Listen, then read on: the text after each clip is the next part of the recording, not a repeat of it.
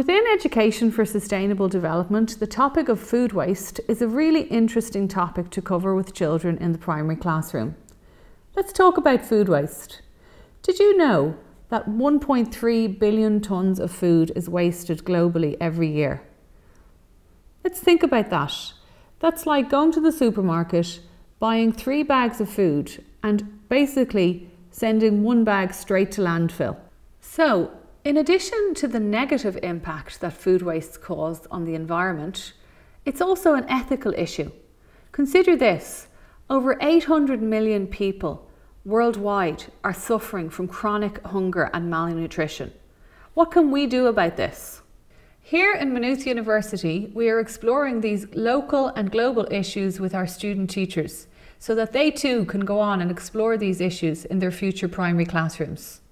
One potential solution in exploring these issues and in living more sustainably is the circular economy concept.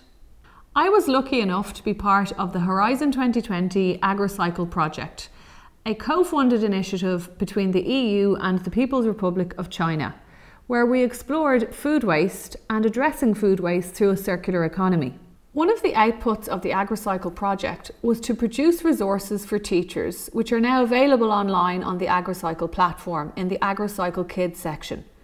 These resources are available in both English and Chinese, and also tá siad ar fád tríhilga don na scoil na ghilteachta don na ghilscoilna agus aine atá an a isrú tríhilga. So what is a circular economy?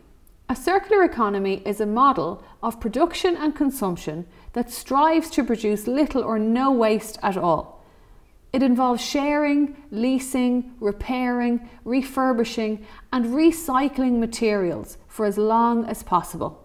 The circular economy concept has become embedded across all levels of curricula in Finland. And here at the Froebel Department of Maynooth University, we too have introduced the circular economy concept to our initial teacher education programmes. We begin by observing circular economy examples in the natural world. And we are well placed to do so given that the Maynooth University campus was awarded the 2020 Green Flag Pollinator Project Award. The Maynooth Green Campus team strive to embed the Sustainable Development Goals across all areas of the university.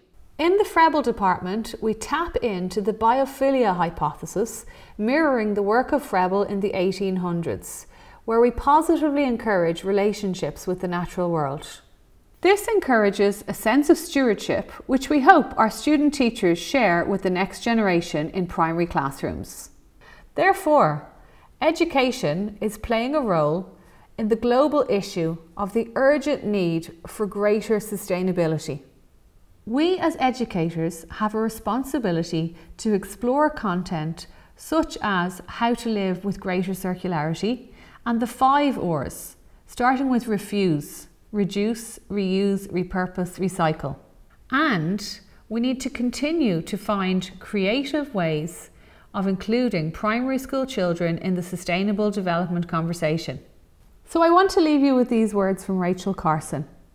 The more clearly we can focus our attention on the wonders and realities of the universe about us, the less taste we have for destruction. This is a position we like to share with our student teachers here in Maynooth University.